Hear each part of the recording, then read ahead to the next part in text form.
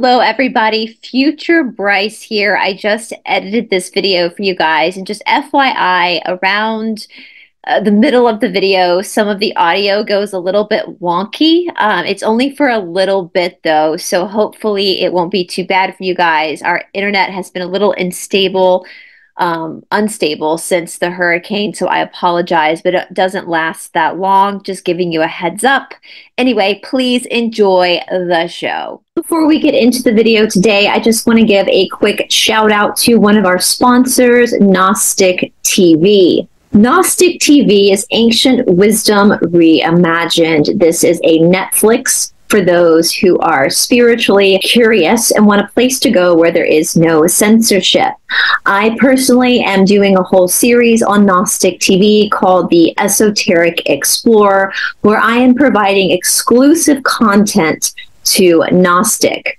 Gnostic TV is a host to all sorts of different content creators many of whom are your old favorites. If you would like to check out Gnostic TV, there is a link down in the description box below. Desperate times do indeed often call for desperate measures.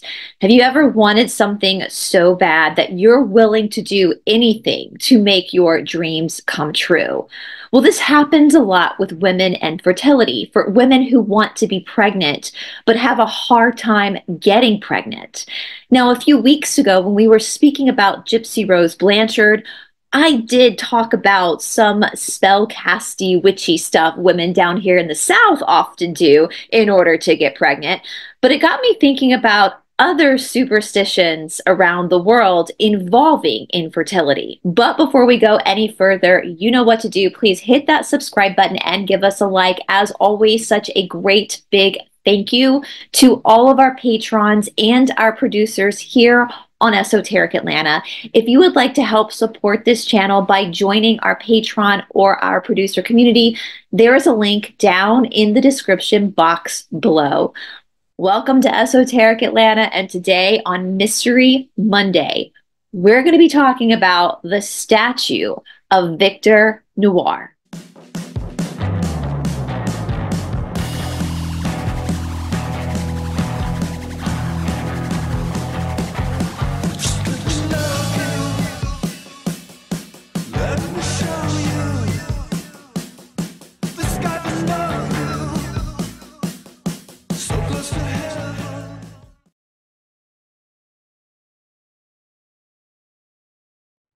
Now, of course, there's probably going to be a big debate over superstition and or witchcraft. Some people think that superstitions work because the person believes it works. And if you believe it works, then it will work. What is it that Henry Ford said? Whether you think you can or you can't, you're right. Other people believe that witchcraft and superstition works because it's magic and it just works whether you believe it or not. Now, in my opinion, both are true right? Like we are magic as human beings. So if we truly believe something works and our mind is what's making it work, then that's just as magical than the act of the craft itself, if that makes sense. But this whole story with Victor Noir is so unbelievably fascinating to me because out of all the research I did on this particular superstition, it does seem to work it seems that there are a lot of women who go and visit this statue that do end up getting pregnant within a year or find a husband within a year of visiting this said statue. We're going to get into the story of Victor Noir and how his statue came to be the symbol of fertility. But before we get into it, before I forget, I want to ask you in the audience if you've actually seen this statue and if you have had an experience with Victor Noir's legend, his superstition of getting knocked up by visiting it, it's definitely part of the world of the weird and the wacky, and I am totally here for it. Now, before we get into the story of Victor Noir and his famous fertility statue, I do want to take a moment to give a brief shout out to our one of our sponsors, Gnostic TV, and our panel of occult survivors over on Gnostic TV. So hold on for one second for a brief commercial. One of our awesome sponsors here on Esoteric Atlanta is Gnostic TV. As many of you know, I am also a content creator for Gnostic TV. I have two series, the Esoteric Explorer series, along with Esoteric Health and Wellness. Over on the Esoteric Explorer series, you can join me for deep dives into the weird and wacky and folklore exclusive folklore stories that are only found over on Gnostic TV. You could also join me over on the Health and Wellness series, where we go into the spiritual and esoteric implications of exercise and health. But we also have a brand new panel over on Gnostic TV called Tales of Survival of the Dark Side. This is for people who are particularly interested in the occult. On this panel, we have a ton of people who are speaking about their experiences growing up in occult families. Now, because of the nature of this conversation, obviously it has to be on a separate platform, which is why we're doing this over on Gnostic TV. If you would like to specifically watch the panel of occult survivors, there is a link to ticket sales down in the description box below. Once you buy your ticket, your ticket is good for forever. You can always come back and rewatch or continue to watch the stories of these people who have survived these particular satanic families. Now, as always, a percentage of the ticket sales does go to support these whistleblowers, so please know that your money is going to a really great cause. Otherwise, you're welcome to watch the Esoteric Explorer series and the Esoteric Health and Wellness series exclusively on Gnostic TV. Now, the Victor Noir statue, this scandalous statue, is located in the Père Lachaise Cemetery in Paris. Now, this is a very, very famous cemetery. It's a very big cemetery. And there are a lot of famous people that are living at the Père Lachaise Cemetery. Like Jim Morrison is there. There's a lot of famous ghosts haunting this area. And I will totally do a deeper deep dive into the cemetery and some of the stories around this cemetery if you guys want me to. Because you guys know, you know, I like a good spooky wooky story. You know, I like a good a good haunting. So if that's something you guys want, let me know again in the comment section below. I'm probably going to do it anyway because I'm interested in this place. And I'm not going to lie, even though I'm not looking to get pregnant um, I definitely, next time I'm in Paris, I will definitely be visiting this statue because I find this story so freaking interesting and it, it is kind of scandalous. Like when we get into like what people are doing to this statue in order to fulfill their fantasies of, of being a mama um, it's kind of scandalous and i love it. I'm totally here for it because that is this is one of the most beautiful thing about humanity to me. Like we talk a lot on this. I mean this whole channel was founded again on the eccentricities of the South. That fact that down here in the South, we're going to church on Sunday and we're pulling tarot cards on Sunday night. We all got voodoo mumbas and we all practice a little bit of witchcraft. It's just part of the culture down here.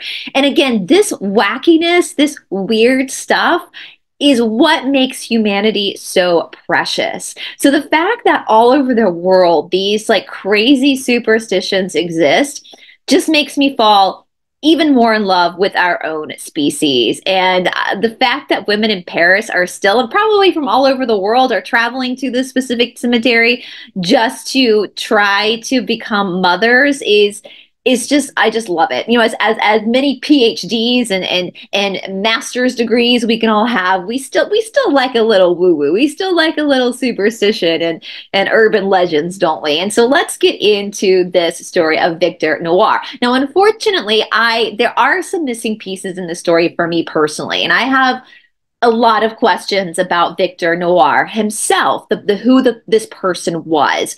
And unfortunately, I don't speak French. I have studied French, but you know, I'm from the South again. So the closest thing to French that I recognize is Creole, which is definitely not standard French. And so, again, I would love for you, if you are a French speaker or if you do know more about Victor Noir, I would love for you to fill in the blanks down in the comment section below because I'm curious as to how he became the symbol of fertility because I can't find any type of of of, of sign or um, you know when he was alive that would make him be like this god of impregnating people. I don't know, you know, like he just seemed like an average guy that got stuck in a really weird situation historically in France. That's how he lost his life, and then his grave, his statue on his grave ended up taking on this life of its own. So I would love for you to help me fill in the blanks with that. But for people who don't know who Victor Noir was, now this was his pen name. He was this French journalist and he did not have a long life. He actually departed this earth at like 21 years old and he didn't depart himself. He got unalived by Prince Pierre Bonaparte. Prince Pierre Bonaparte you got that right. He was the nephew of Na- the Napoleon Bonaparte. And at the time that this whole fiasco happened, the unaliving of Victor Noir happened when Napoleon III was the Emperor of France. So Pierre, Prince Pierre Bonaparte was the nephew of Napoleon and the cousin of Napoleon III. So they were like the ruling family. And so there's a lot going on in the story that very much mirrors what's happening in our world right now. So, what we know about Victor de Noir, he was a French journalist. And again, Victor Noir was his pen name. He was born on the 27th of July, 1848, and he was unalived on the 11th of January, 1870. So let's get into it. I'm going to try my best to explain this. Again, I am not a French speaker. Um, and so I apologize if I am pronouncing some of this incorrect. Blame it on the Creole, blame it on, on, on being an English speaker, but nonetheless, here we are. So at this time in France, just like today, there was a lot of instability in the country because of the government right? Now, if you're following along with our Payseur series, which I still have more work to do on that, again, apologies with the hurricanes, things got a little bit hel helter skelter, but nonetheless, we're getting back to our schedule. But if you were following along with the Payseur series, we know that there is this conspiracy that this kid named Daniel, who took on the last name Payseur, was sent to the United States. He was actually the son of Marie Antoinette and Louis XVI. And before when they met there, had their date at the guillotine, um, the, the people like snuck the little boy out and basically got him to the United States raising him in North Carolina in order to protect the French rail line because of the fiasco, the Revolution, and of course, the fiasco with Napoleon. In fact, the fact that, as legend states, that this Daniel kid even ended up in North Carolina and was taken out of Europe was because Napoleon found out about him. That's all part of this conspiracy. But with all that being said, there was just a lot of tension. There was a lot of stuff going on in France. And as I have said many times before, no one throws a revolution quite like the French. Now, the French have not been as successful as other countries. I mean, in America, we just kind of like threw the tea in the ocean and then had a revolution. They literally start chopping heads, right? So, so I am very in awe, much in awe of of how how the French go about their revolution. But nonetheless, at this time of Napoleon, we, we kind of it kind of appears as if France went from like one ruling family to another, right? Like maybe they thought Napoleon was going to come in and bring some sort of diplomacy, some sort of like different style of government, but he literally like crowned himself the emperor. So not it kind of went from again the bourbon house to like the bonaparte house basically is what ended up happening. So again there's a lot of, of, of frustration. There's a lot of friction amongst the people of france. Now of course at this time in the 19th century duh there was no television there was no social media there was no like radio. Most of the news was told through the newspapers now, we know now sometimes that uh, the mainstream cannot be super trusted. But back then, the newspapers were kind of the only way that people really knew what was going on in, in their world. And and just like today, they had more left-leaning newspapers and more right-leaning newspapers. Now, what's interesting and I think very very insightful, especially for the Americans who are listening, the more liberal based newspaper were based on Republican ideals. And I have said this in my own personal life that we're starting to see in our own world today that those who claim to be liberal are actually not. They're more, don't know what words I can say on YouTube, but more like Stalin esque, Yahtzee, we'll say esque. Whereas the Republican values are more of like the liberal, like just live and let live, like let people be, let people let less government control. So I wanted to clear that right away. So we talk about these warring, these dueling newspapers uh, covering the political landscape of France at the time. What you might consider to be leftist leaning newspapers are actually more Republican values versus the right leaning, which is more Democrat, we'll say, as an American for the Americans. I know they're not called Democrats in other countries, but just to kind of we can start to kind of untangle this web of confusion. So basically, what happened? Victor Noir worked as a journalist for this extremely liberal newspaper. And there are these others. So we got three newspapers involved in this story. There were these two newspapers that were kind of warring with each other. They were kind of releasing different articles, bashing each other. Like one, the more liberal newspaper was bashing the emperor and the control that the Bonapartes had on the country, whereas the more right leaning paper was like protecting the emperor. And they were just kind of having this media war, kind of like Fox News and CNN, right? They were just kind of having this like media war. Well, Pierre Bonaparte, so Prince Pierre Bonaparte, ended up writing a letter to the right leaning newspaper, basically defending his family. Not only did Prince Pierre Bonaparte defend his family, his uncle and his cousin, but he also called the people that worked for the more left leaning newspaper beggars and traitors. Yes, he went there. I mean, spoken like the left today, like as they've been flipped, right? Like the more controlly group calls us all names. People that want freedom calls us names. That's what he was doing too. Does that make sense? I'm trying to be careful how I say this on YouTube. I think you guys get what I'm saying though.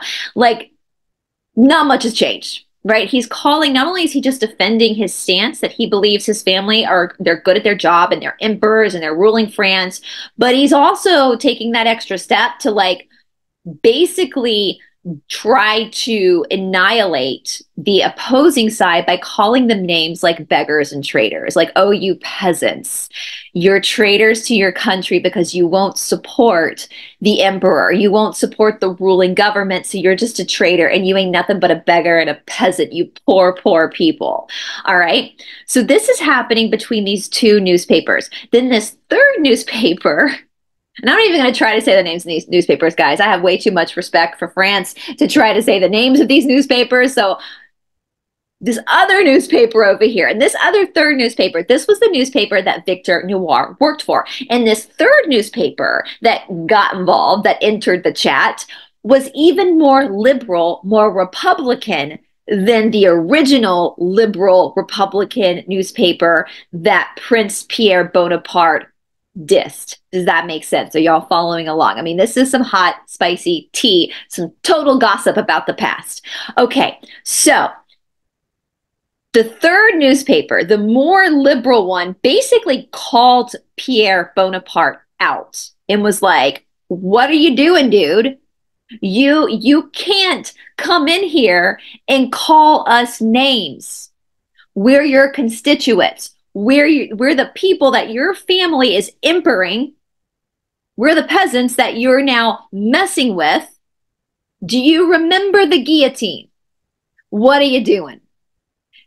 So the third newspaper comes in to defend the less liberal newspaper that was originally calling him out. So then Pierre once again sends a letter back to the right leaning newspaper, basically saying, I said what I said. Now, just to give you guys the span of time, this whole drama happened. It started in December of 1869 and it ended of January of 1870. So this was some drama. This was some major, major tabloid drama. But instead of bickering women, it was bickering men. So let's review. Two newspapers in, eight, uh, in December of 1869, two newspapers, one more controlly, one more liberal, are going at it. The controlling newspaper, the right-leaning newspaper, is in in in favor of the Bonapartes, of them being the emperor, of their loyalist, royalist, whatever you want to say. They wanted the establishment. They loved the establishment. So even though they're more right leaning newspaper, they're more like CNN today, right? MSNBC. They love them some enslavement. They love them some leaders, some Aluma Shmati. They just love it, right? Then you got this other newspaper that's more liberal or more Republican. That's like, actually, I think human beings should not be enslaved and should probably be able to self govern right? We're less than 100 years out from the American Revolution, the Haitian Revolution. We've gone through the French Revolution. And so these newspapers are bickering back and forth about how to govern France. Prince Pierre Bonaparte writes a letter calling the people and the more Republican. So he basically writes a letter to what would be CNN, bashing Fox News, if that makes sense.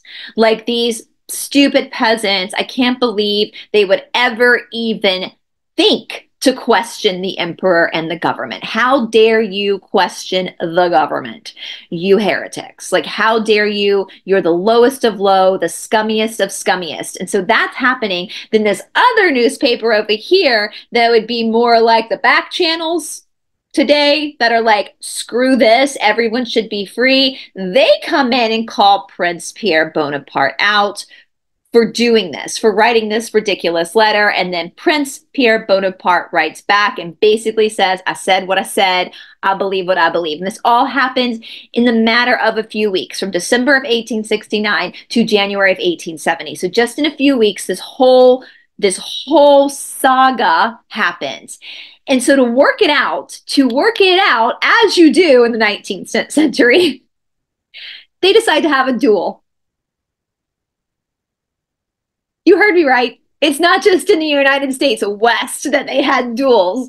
They're doing this in France too. They're going to have a freaking duel. Like to be a fly on the wall. Like I I maybe we should bring dueling back. I don't know. Maybe there's something to be said about this particular practice. So the editors, he's challenged the editors of these two newspapers to a duel. So these editors send Victor Noir, a journalist, and a colleague to go meet with Prince Pierre Bonaparte to basically establish the rules of the duel. This was on the 10th of January, 1870. I'm telling you guys, like, this was just a matter of weeks that this whole shenanigans happened. So Victor Noir and his colleague show up to to have conversations to plan this duel out. Now, it turns out that Victor Noir and his colleague also had on them, which was doesn't seem shocking. Like I think back in those days, more people carried these around with them. But I guess the French, uh, the, the the Prince Pierre Bonaparte, I guess he kind of saw that as like a threat, so quote unquote. He basically started to call the guys names. Like he could not believe he was such an elitist, such an entitled little shit that he could not believe that the editors of these newspapers sent employees, assistants, journalists, basically, to schedule and plan out this duel. Like he thought it was so beneath him to actually the Prince Pierre Bonaparte. Like, how dare they? How dare these peasants send their assistants to me, Prince Pierre Bonaparte, to plan this duel. And so, as the story goes, apparently, Prince Pierre Bonaparte, we really only have his word for it, started to call these editors even more vile names. Now, that part a point, Victor Noir stood up and said, Hey, not cool, man. We're here to plan the duel. We're going to settle this like men in a duel. Don't call my my boss names. And then apparently Prince Pierre Bonaparte slapped Victor Noir, just slapped him, and then pulled out his thingy and to Victor Noir. Well, well, my friends, Prince Pierre Bonaparte was in fact arrested for unaliving this man. However, he claimed self defense. He claimed that Victor Noir actually attacked him. And if attacked, he mean just stood up for his friends and said, hey, not cool, bro. And so therefore, Prince Pierre Bonaparte was exonerated. Now, this pissed the people off so much. I mean, can you imagine? I mean, I guess we can because we're seeing that would be like, I mean, we're seeing this here. I can't say too much, like you guys know, because we're on this platform, but we see this injustice all the time nowadays with the establishment, with the Illuminati, right? Where they just get away with everything and it's so obvious. Like they're not even trying to hide it anymore. And that's kind of the same feeling through my research of what was happening in this court case. Like the people were shooketh. They were shooketh that this dude that blatantly unalived Victor Noir, a 21 year old journalist, a kid, literally has gotten away with it. Like, literally just got away with schmurder. So they're pissed. So the day after the 12th of January, there was a huge political revolt. They had people protesting. So many people took to the streets to protest this whole situation. And again, I'll say it for the people in the back who didn't hear. No one revolutions like the French do. I would have been terrified if I were a Bonaparte at this point. I would have been shaking in my boots. If I were the judge, the attorneys, any type of government agency, I would have been like scared shitless at this point because the French have proven that they take their revolutions very, very seriously. Now, they, they had all these political activists really using this story as a way to further their point that the establishment of the Bonaparte were corrupt. In fact, it was a civic duty, this is their words, a civic duty to the Republicans to not let this go. And boy, they didn't. They surely didn't, because on September 4th of 1870, so just a few months later, the Bonapartes were overthrown and the Franco-Prussian War broke out. Now, this again was 1870. It wouldn't be for another 21 years until um, Victor Noir's body was moved from its original burial place to the Père Lachaise Cemetery, the very famous cemetery that I started with. Now, again,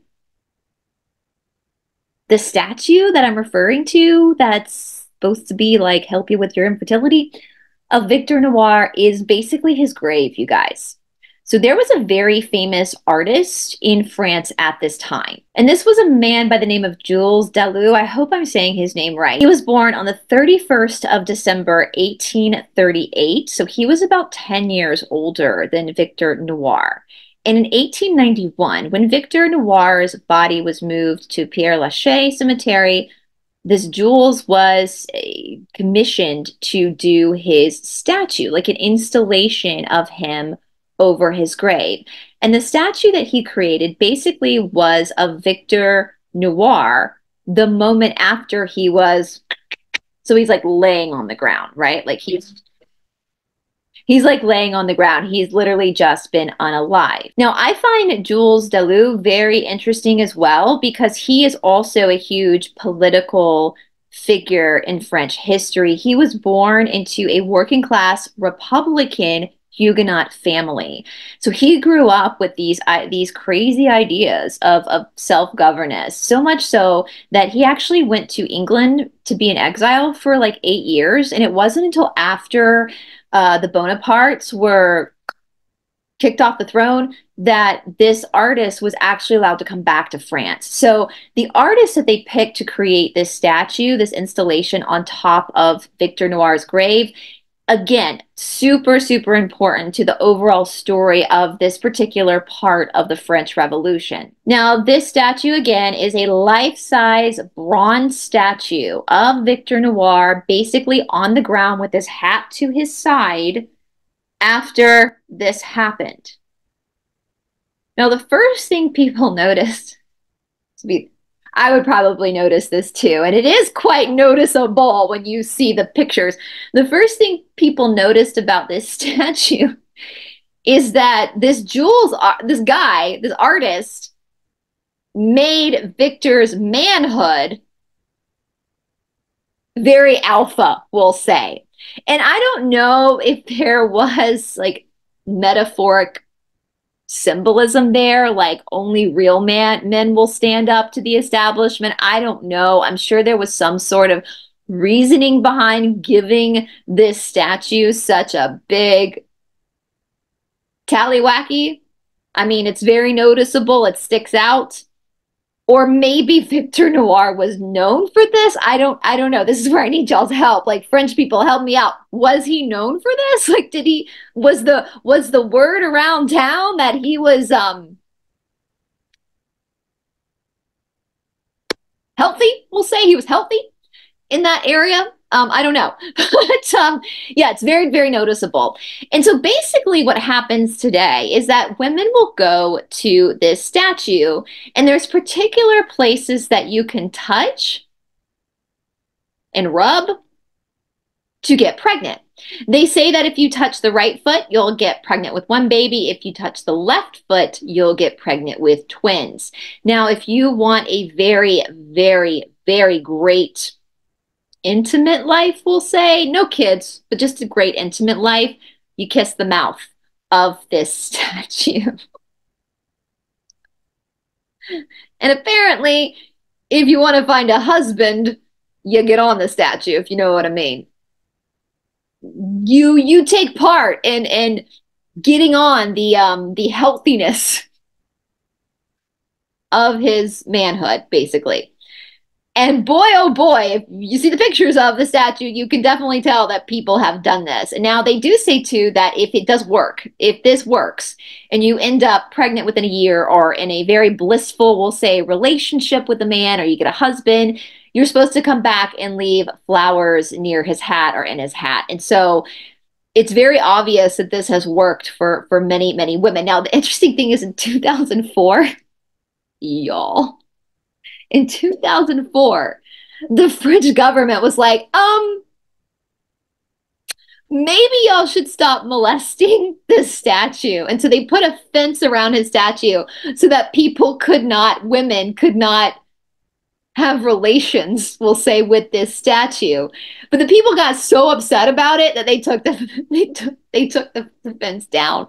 So y'all, I love this. Like I I and again, is it is it his statue? Is that what's working? Is there magic there or is it because that women believe they're going to get pregnant or believe they're going to find a husband or believe they're going to have a great intimacy life that that's why it works. I don't know. Does it really matter how it works or just that it works? You know, um, no harm, no foul, right? I, I don't think that this is destroying a, a grave if it's for positive things. Like if people are coming and doing this with gratitude for a better life, I don't think that that's really defaming the grave. If that makes sense. You guys might have a different opinion.